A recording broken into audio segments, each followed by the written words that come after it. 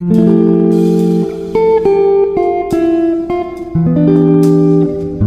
Friends मैं हूँ गणेश और मेरे चैनल में आप सभी को फिर से स्वागत करता हूँ। तो आज बनाते हैं मिक्स वेजिटेबल का एक नया रेसिपी और इसे हम बिल्कुल नया तरीका से बनाएँगे। ये खाने में बहुत ही स्वादिष्ट लगता है और इसमें हम कोई भी स्पेशल इंग्रेडिएंट्स यूज़ नहीं करेंगे। जैसा कि काजू और पीनट का पेस्ट डालते हैं ना होटल में, हम बिल्कुल ऐसा यूज़ नहीं करेंगे। हम घर में जो भी कॉमन मसला है, उसी से हम बनाएँगे। ये खाने में बहुत ही टेस्ट लगेगा। आप ज़रूर इसे ट्राई करें, आपको बहुत ही अच्छा लगेगा। तो अभी हम वेजिटेबल को थोड़ा फ्राई कर लेते हैं। इसे हम डीप फ्राई नहीं करेंगे। जस्ट ऐसे थोड़ा सा तेल डाल के हम इसे फ्राई करेंगे। आप चाहिए तो डीप फ्राई कर सकते हैं, लेकिन हमको ज़्यादा तेल नहीं चाहिए, इसलिए हम डीप फ्राई नहीं करेंगे। हम इसे दो बड़े चम्मच इसे तेल डाल देते हैं।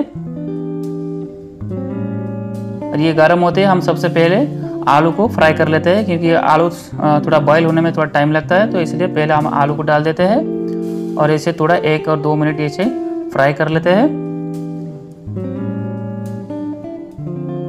और इसके बाद हम डाल देते हैं ये गाजर। हम सारे वेजिटेबल को एक एक स्टेप बाय स्टेप डालेंगे और इसे एक मिनट फ्राई करने के बाद इसमें हम डाल देते हैं बीन्स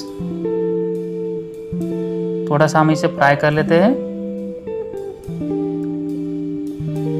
ये जो सारे प्रोसेस है, आपको वेजिटेबल फ्राई करने के लिए सिर्फ़ पाँच मिनट ही लगेगा। और इसमें हम डाल देते हैं ये गोभी। इस सारे वेजिटेबल को हम अच्छे से इसे मिक्स कर देंगे। और उसमें हम थोड़ा सा सॉल्ट ऐड कर देंगे। इसे हाफ़ टी स्पून से सॉल्ट ऐड कर देंगे और इसे अच्छा से मिक्स कर देंगे। और अभी हम ढक्कन लगा के इसे दो मिनट के लिए मीडियम फ्लेम में हम इसे पकाएँगे। और इसे बीच बीच में हम निकाल के ऐसे ऊपर नीचे कर देंगे जैसे कि हमारा सारे वेजिटेबल इक्वली बॉयल हो जाए। इसे मैं फिर से ढक्कन लगा देता हूँ। और अभी ढक्कन निकाल के अभी हम ये जो मटर है ना, इसे भी डाल देंगे। क्योंकि ये फ्रोजन मटर है, ये ऑलरेडी बॉयल हुआ है तो इसे ज़्यादा टाइम नहीं लगता है बॉयल होने के लिए। तो हम इसे अच्छे से मिक्स कर देंगे थोड़ा सा और फिर से हम इसे दो मिनट के लिए पकाएँगे। देखिए हमारा जो वेजिटेबल है, ये ऑलरेडी बॉयल हो चुका है मतलब फ्राई हो चुका है। आप ऐसे देख सकते हैं कि हमारा आलू देखिए बॉयल हो चुका है मतलब सारे वेजिटेबल बॉयल हो गया है। अभी हम मसाला के लिए प्रिपेयर करेंगे। तो सबसे पहले हम कढ़ाई में तीन बड़े चम्मच तेल डाल देते हैं।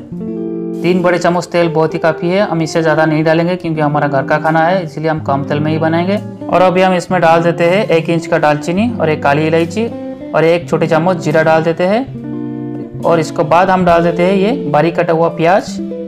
तो अभी हम प्याज को अच्छा से भून लेते हैं। अब गैस फ्लेम को हम हाई रखेंगे और प्याज को तब तक भूनेंगे जब तक ये थोड़ा गोल्डन ब्राउन नहीं हो जाता।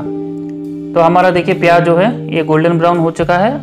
अभी हम इसमें एक बड़े चम्मच जिंजर गार्लिक पेस्ट ऐड कर देंगे। और इसे हम अच्छा से प्याज के साथ भून लेते हैं। इसका जो थोड़ा कच्चापन है, ये जाने तक हम इसे भून लेते हैं। अभी गैस को हम लो फ्लेम कर देंगे। और इसमें हम डाल देते हैं एक बड़े चम्मच धनिया पाउडर, या आधा बड़े चम्मच रेड चिली पाउडर, या आधा बड़े चम्मच हल्दी पाउडर, और इसमें डाल देते हैं एक बड़े चम्मच काश्मीरी रेड चिली पाउडर, ये थोड़ा कलर आने के लिए। ये थोड़ा सा हम भून लेते हैं। भूनने से क्या होता है कि आपका सब्ज़ी का कलर जो है ना, ये बहुत ही बढ़ जाता है। और अभी हम इसमें डाल देते हैं ये दो सौ एम का दूध। और अभी गैस को हम हाई फ्लेम में रखेंगे। और इसे हम एक मिनट के लिए कंटिन्यूसली हम इसे चलाते रहेंगे। ये ज़्यादा टाइम नहीं लगेगा, क्योंकि हमारा जो गैस है ना हाई फ्लेम में है। तो देखिए हमारा कैसे साइड में कैसे तेल नज़र आ रहा है। मतलब हमारा परफेक्ट भून गया है। तो अभी हम इसी कंडीशन में टमाटो डाल देंगे। अगर हम पहले टमाटो डाल देंगे और बाद में दूध डालेंगे तो वो फट जाएगा। बिल्कुल बेकार लगेगा टेस्ट नहीं आएगा। तो इसलिए इसी स्टेप आप फॉलो कीजिए। ये बहुत ही टेस्टी बनता है। और टमाटो भी अच्छा से देखिए, भून चुका है और साइड में कैसे तेल नज़र आ रहा है। एकदम परफेक्ट बन गया है हमारा मसाला। अभी हम इसमें ये जो वेजिटेबल है, इसमें ऐड कर देंगे।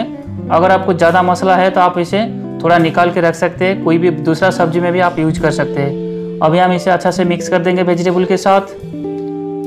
अच्छा से मिक्स हमने कर लिया है। अभी हम थोड़ा सा पानी दे देंगे। आप चाहिए तो सूखा रख सकते हैं। लेकिन हम यहाँ पर थोड़ा सेमी ग्रेवी रखेंगे, क्योंकि इसे हम राइस के साथ खा सकते हैं, चावल के साथ खा सकते हैं, रोटी के साथ खा सकते किसी के साथ भी खा सकते हैं थोड़ा सेमी ग्रेवी रखने से। और अभी हम इसमें स्वाद अनुसार नमक डाल देंगे। पहले से डाला था। जितना रिक्वायर्ड है, उतना हम डालिए।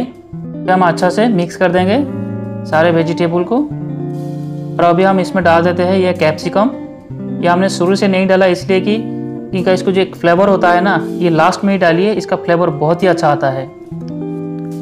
और अभी हम इसे एक मिनट के लिए ढक्कन लगा के पकाएँगे, एकदम लो फ्लेम में। कैप्सिकम को हम ज़्यादा नहीं पकाएँगे, क्योंकि इसका जो फ्लेवर है ना, वो सब्ज़ी में बरकरार रहना चाहिए। और इसमें हम डाल देते हैं भुना हुआ जीरा और गरम मसाला। ये मिला कि एक बड़ी चामच हम डाल के इसे अच्छा से मिक्स कर देते हैं।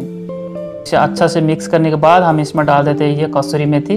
इसे हम क्रॉस करके डाल देते हैं। इसका टेस्ट तो लाजवाब है, बहुत ही अच्छा आता है इसमें। और इसे भी अच्छा से हम मिक्स कर देंगे। मिक्स करने के बाद हम इसे और ज़्यादा नहीं पकाएँगे जस्ट एक मिनट के लिए हम पकाएँगे एकदम लो फ्लेम में, क्योंकि हम इसमें जो मसाला डाला है ना, गरम मसाला और कसूरी मेथी, ये अच्छा से मिक्स हो जाए।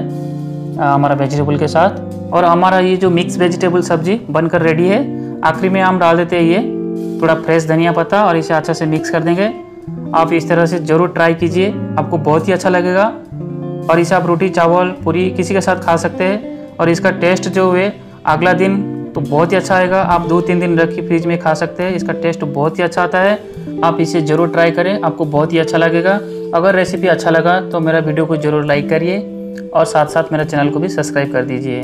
तो फिर मिलते हैं दोस्तों और एक नए रेसिपी के साथ। तब तक के लिए bye bye. Thank you very much